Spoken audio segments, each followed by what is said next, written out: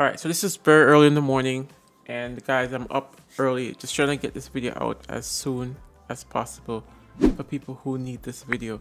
So if you haven't done so yet, please hit that subscribe button, hit that like button to help this video so more people can get this video as well. But basically, this video is for those people who are trying to remap their controller, but they don't own a PS5. So this is how to remap your controller on a PC. So Paliverse has been really nice to actually update the app recently uh, to support this function for people who don't have a PlayStation 5 and want to remap their controller. So without further ado, let's jump into the video. Alright, so for a lot of people who are wondering how to do this, basically you gotta get the DSX app. So at the time of this recording, the DSX app doesn't give you the ability to do so because you might be on a different version. So the only version that gives you the opportunity to basically map the controller is version 2.4.0 and 2.4.1. Right now I'm at 2.4.1. I'm going to show you guys just what yours would probably look like, just to kind of go through that with you um, as well. So that, let me, go, let me cut off this one. Gotta go to Steam. All right, so basically Paliverse recently patched their um, the software because 2.4.0 and 2.4.1 has some issues. So he basically patched it where the where the app will revert all the way back to um, 2.3.2, which is the most stable version. But I'm going to show you guys basically how you guys can get 2.4.0 and 2.4.1 so you can start using your controller because that's probably very important for you. So this is, this is probably the version that you have if you actually don't have the paid version. So you need the paid version in order to be able to do this. So you probably have 2. Point, version 2.3.2, which is the most stable version right now. So uh, maybe at the time of this recording, they already patched it and you have 2.4.1 or 2.4.0. So it might be a little bit different for you. But if you want to do it right right now, you gotta go to go back to your Steam app. So go back to Steam and just do it what I just did a while ago. So go back to Steam you're gonna click on um, you're gonna click on library, right? Click on the DSX app, but don't launch it. Click on the start button right here. Uh, make sure that I, close the app. So click on the little like whatever this button is, the settings button, right? Manage. You're gonna click on properties.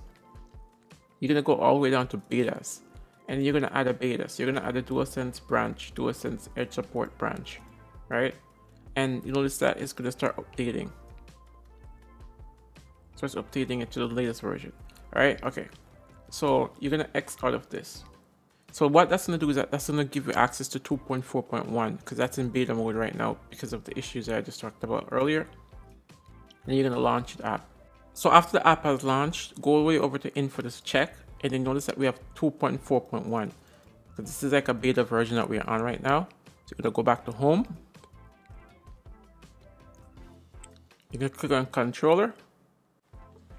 Okay, sorry guys, I forgot to plug in my controller. I was trying to find, and I forgot, but you have to plug in your controller in order for it to work. Make sure you plug in your controller. Don't be like me. I forgot to plug in mine, but your controller should connect.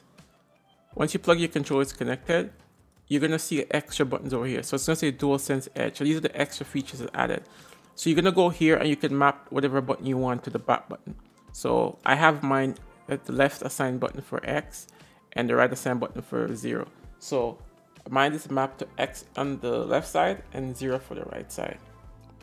So you can map the function buttons as well. So mine, the function button on the left is actually mapped to the triangle and the function button on the right is actually mapped to X. So that's basically how simple it is for you guys to go ahead and do it.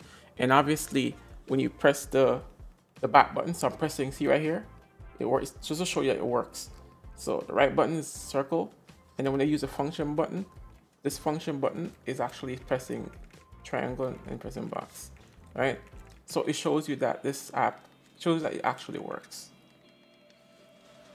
So that's basically how simple it is for you guys to go ahead and map your controller to any back buttons you want using your PC. So you don't need a PlayStation 5 to do this. Only bad thing is this, is that you won't be able to save those profiles on the controller because at the time of this recording, Paliverse is working on a way how to do that.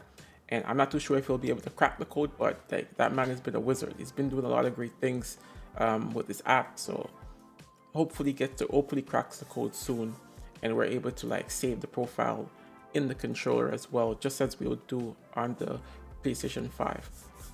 For now, please like the video. Please subscribe to the channel as well to help us grow. I've literally wake up early in the morning just so I can um, update you guys and um, so you guys can actually get playing on your new PC with the DualSense X. Keep note 7 some more about for now. Next, next time I'll see you again. We're going dark for now and I'll see you next video. Peace.